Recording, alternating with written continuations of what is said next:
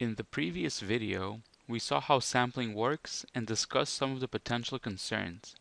In this video, we will look closely at sampling sinusoids, that is, sines and cosines. Here, we can see a sampled sinusoid.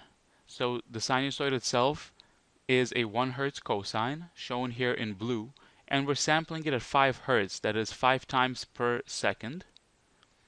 And we can see those samples shown here in red. Now, I'll show an animation where the green sinusoid is another sinusoid, it's a 4 hertz cosine, which goes to the same exact samples as the blue cosine, the lower frequency cosine.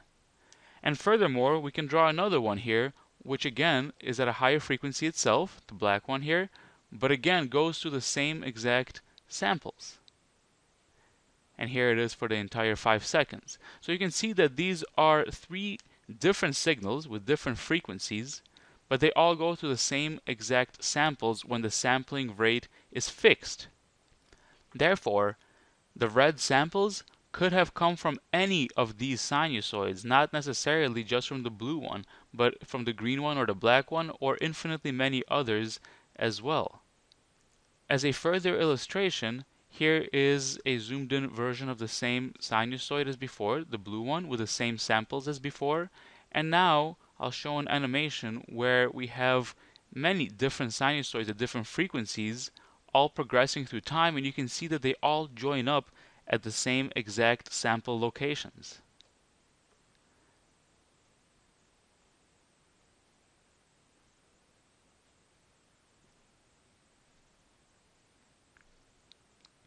Again, as before, the samples in red could have come from any one of these individual various frequency cosines. Therefore, we have ambiguity as to which one they actually came from. But as mentioned in the previous video, we assume that they come from the smoothest or lowest frequency possible signal that can go through them, in this case, the blue one, because we don't really know any better and shouldn't make any other kinds of assumptions. Now let's examine this phenomenon mathematically. We defined before that x of n is equal to x of n times t sub s, where this is our sampled signal, the, the series of samples, and this is the continuous time signal into which we plug in n, which is an integer, times the sampling period t sub s. So therefore we take a snapshot every t sub s seconds. Suppose that in this example we have a signal x1 of t, which is equal to cosine of 2 pi 400 t. In other words, this is a 400 hertz cosine in the format of cosine 2 pi ft, where f is the frequency of the sinusoid in hertz. And let's say that x2 of t is equal to cosine of 2 pi 1400 t so this is a 1400 hertz cosine. Now, I'm going to say that we will sample this, f sub s is going to be 1000 hertz. So to obtain our sampled signals, x1 of n, that's just going to be x1 plugging in n times t sub s, or n times 1 over f sub s, since those two are equivalent and that gives us x1 of n times 1 over a thousand since f sub s is a thousand and that's equal to cosine of 2 pi 400 times 1 over a thousand n which in a more simplified form is equal to cosine of 0.8 pi n. Alright, now let's look at x2 of n we're going to perform the same exact procedure. Therefore, this is going to be x2 of n times 1 over fs, which is cosine of 2 pi 1400 times 1 over 1000 n. And that's equal to cosine of 2.8 pi n. Okay. However, cosine is 2 pi periodic And since n is an integer, we can always subtract an integer multiple of 2 pi or add to the cosine and it'll be the same thing. Recall that cosine of x is equal to cosine of x plus 2 pi equal to cosine of x plus 4 pi and so on and also in the other direction so x minus 2 pi x minus 4 pi and so on again since n is an integer this part right here can be rewritten as cosine of 0.8 pi n plus 2 pi n. And the term that is 2 pi n, this one, cancels out because of this property of the 2 pi periodicity of cosine. And therefore, this is itself exactly equal to x1 of n. And that is where the problem arises. As we just saw in the illustration before, a vastly different cosine in continuous time goes to the same exact samples as another one. We can actually extend this even further and say that x of n if it's equal to cosine of 0.8 pi n, that's also equal to cosine of 2.8 pi n, which is also equal to cosine of 4.8 pi n, and so on. Again, an infinite number of sinusoids pass through the same exact samples. Using another property of cosines, that is the even symmetry, where we know that cosine of x is equal to cosine of negative x, we have that x of n, if it's equal to cosine of 0.8 pi n, well that's also equal to cosine of negative 0.8 pi n, which is then also equal to adding a multiple of 2 pi to 1.2 pi n. And to cosine of 3.2 pi n. And again, infinitely onwards. So we have this other set of frequencies which are also going to go to the same exact samples. Another way to look at this is if we define this frequency over here as our radial continuous frequency omega, and this one right here as a normalized frequency omega hat, it's been normalized by the sampling frequency. We divide it by the sampling frequency. It's a normalized frequency. Well, this normalized frequency, this omega hat, is 2 pi periodic. This was not the case with continuous time frequency because we didn't have an integer n, which could then help to cancel out multiples of 2 pi. Now we do and therefore omega hat is 2 pi periodic and samples from one signal cannot be distinguished from samples from another if they happen to be in this kind of a form. In general then, given a set of samples, we want to be able to reconstruct or go back from the samples to a continuous time signal and we have to choose the smoothest as I mentioned before. So we want to reconstruct the smoothest possible version of a signal going through a set of samples. So suppose that we have x of t, which is cosine of 2 pi 1060 t. So it's a sine wave or cosine at a frequency of 1060 hertz. And we sample at 100 hertz.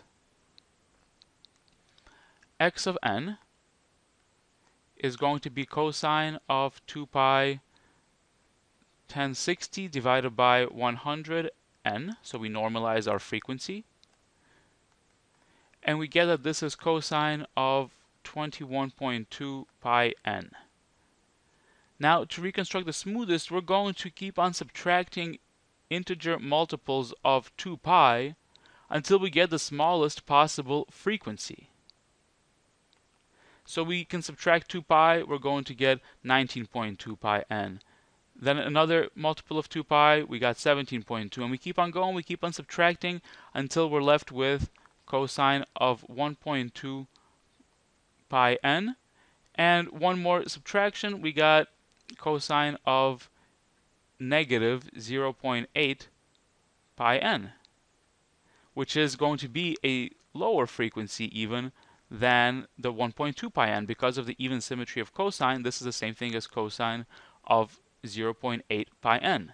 This is the lowest possible frequency that we can reach subtracting or adding integer multiples of 2 pi. So this is the lowest frequency or the smoothest possible sinusoid that goes through these same exact samples. And in order to bring it back to the continuous time domain, we can call this x sub r of t, well, we're simply going to reverse the process of normalization and denormalize, as it were. So that will be just plugging in t times f sub s into our sample equation here, instead of plugging in n times 1 over fs, so this just reverses that operation. And that's going to give us cosine of 0.8 pi, f sub s is 100, t, which gives us cosine of 2 pi 40 t.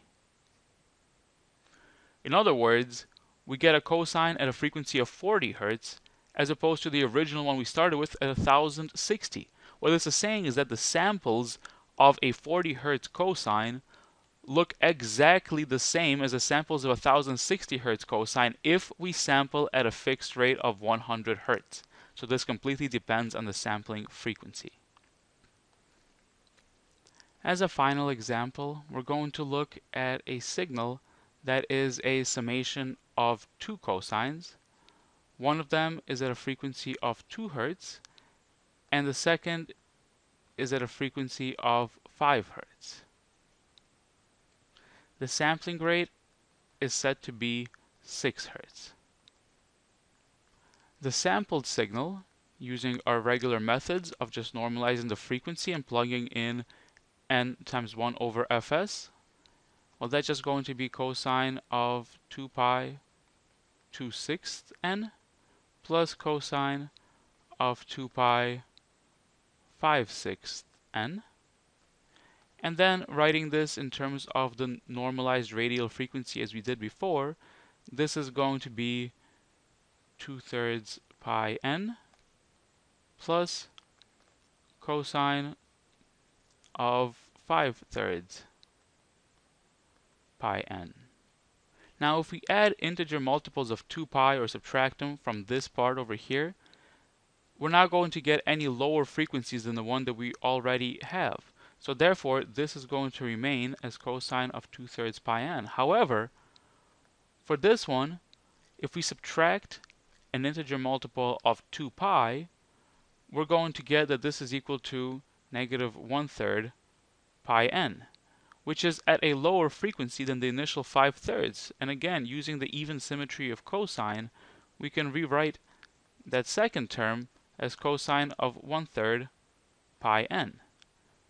And once again, reconstructing a continuous time signal, we'll call it x sub r of t again, and that's just going to be plugging in t times f sub s into this equation, into our sample equation here, and that's going to give us cosine of 2 thirds pi 60 for the first one, plus cosine of 1 third pi 60 for the second.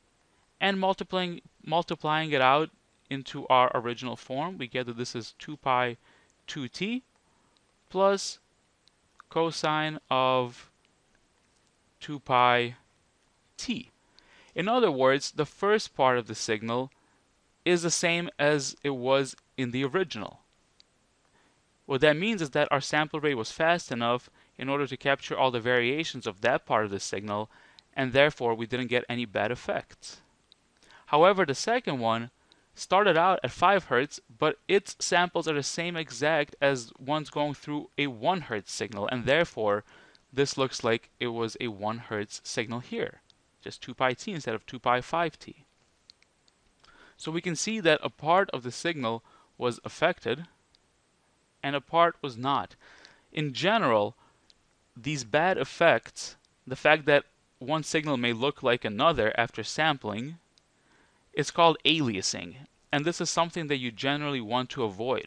As we saw in the previous video, this has to do with the properties of the actual signal itself. Altogether, in this video, we have examined how sampling can create ambiguity as to the original continuous time signal. We have seen this through illustrations and through mathematics. We have also presented the normalized frequency. Finally, we have seen how sampling can distort a signal without even any processing taking place. In the next video, we will generalize these concepts and present a method to avoid complications due to sampling.